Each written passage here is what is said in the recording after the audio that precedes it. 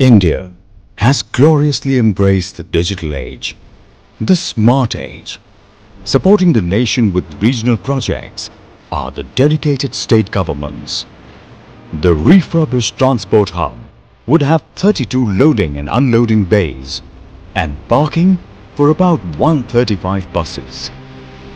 There would be planned pedestrian movement from footpaths to the subway. This would ensure a pedestrian-free tarmac for the buses. The new design would include a school, a boutique hotel, retail and office spaces, the MSRTC office building, and staff quarters. The new facility would also have a medical center. The Panvel ST bus depot.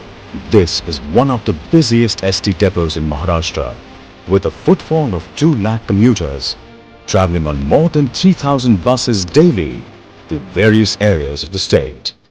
MSRTC supports 18,000 buses and 7 million commuters daily in Maharashtra and has always worked tirelessly to ensure a safe travel experience for commuters. Honorable Transport Minister for Maharashtra State, Mr. Diwakar Raote, has taken up the challenge to improve public infrastructure in the state.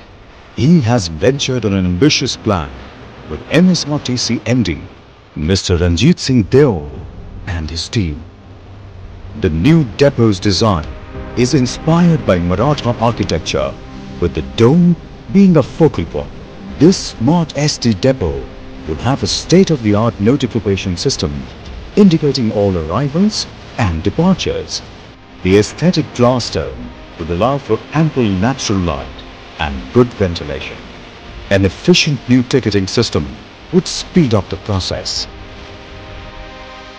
Thoughtful planning has ensured necessary facilities for citizens' convenience.